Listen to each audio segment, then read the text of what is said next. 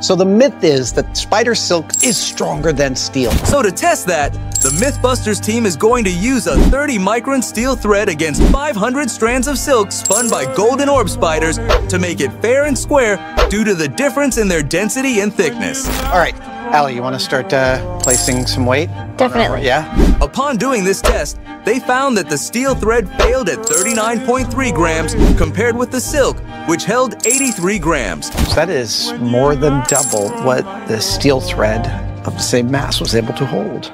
But one test wasn't enough to call it a pure victory, so they scaled up 25,000 strands of silk, harvested over five weeks, to compete with a 28 gauge steel wire. This is quite possibly the largest amount of spider silk that's ever been brought to bear on a test like the one we're about to do. So during this ultimate test, Adam and his junior teammates found that the steel wire snapped at 12.5 pounds compared to more than double that, 26 pounds, held by the silk.